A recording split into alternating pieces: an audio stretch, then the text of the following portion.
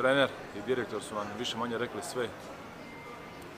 Da je lako bilo, nije. Prvi put u mojoj karijeri da smo nešto ovako doživjeli, gdje smo stali doslovno na aerodromu i nismo znali hoćemo li za Porto, hoćemo li prespavati, hoćemo se vratiti u Zagreb. Ali evo, sretni smo da smo došli u Split i da idemo sad prema Zagrebu. Ovaj, kad će se utakmica odigrati ne znam, to će HF odlučiti. E, jedna jako bitna utakmica je trebala biti za nas, jer nam se radi doslovno o prolasku skupine, ali eto, prvo se trebamo odmoriti, jer stvarno noge su nam mrtve, umorni smo i već imamo u subotu Hrvatsku ligu i treba ovo sve nadoknaditi, ali skupit ćemo mi snage, nije to prvi put i bit će to sve dobro.